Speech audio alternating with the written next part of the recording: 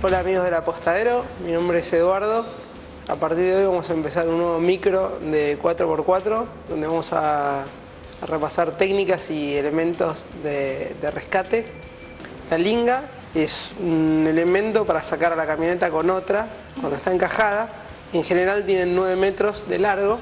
Lo importante de las lingas es que sean elásticas una linga de carga que es rígida. Cuando nosotros pegamos el tirón para sacar a la camioneta encajada, repercute en los anclajes y en la misma linga y corremos el riesgo de que se corte. Una linga cortada puede lastimar a una persona o romper un vehículo. Y si arranca un elemento de anclaje, tenemos el equivalente a un proyectil. Siempre se agarran las puntas con un grillete metálico que conviene que sea del tipo corazón, para que cuando nosotros lo pongamos quede la linga en forma plana y además permite unir dos lingas.